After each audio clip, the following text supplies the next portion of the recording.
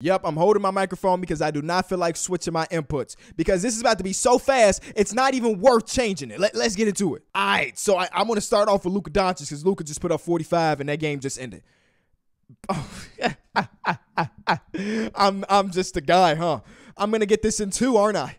I'm gonna get this in two, aren't I? He is a forward who is six eight or six six nine. He's exactly 23 years old in the Southwest Division. Simple. Okay. All right. Who are the rivals of the Dallas Mavericks? Um, you know what? Who's in the Southwest? It's Mavericks. I'm guessing all the Texas teams, right? There's I cannot confirm this right now, but I'm just gonna assume that all the Texas teams are in the Southwest. So let's say um uh uh Dallas, Spurs, and then the Houston Rockets. Then the other teams would be Memphis, and then the other team, New Orleans. Gonna go out on a limb and say New Orleans is in there too, but I could be wrong.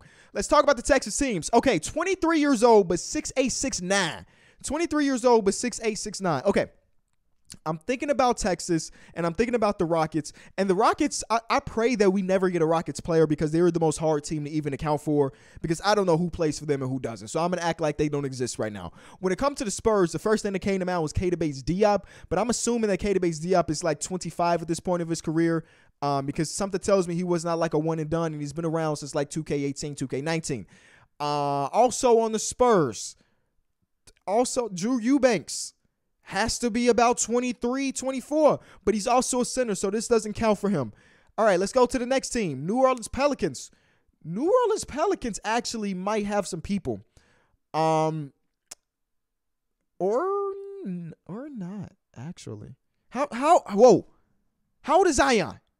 No, Zion's not 23 yet. Luka, I just found out that Luka's only 23. So Zion is not 23 yet. Zion might be 21 who I'm getting this into, bro. I refuse. Okay, so um, Grizz, 6'8, 6'9, 23 years old.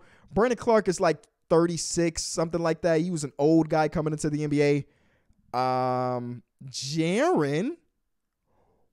Ooh. No, J- Jaren, 6'8, 6'9, about 23 years. Jaren Jackson Jr., baby. Stop playing with it, brother. It's not Jaren, but it's on the Grizz. You know what? You know what? Actually, I don't deserve this. I don't deserve it. Because for some reason, in this moment in time, at, at 1209, May 3rd, why did I just think Jaren was six nine?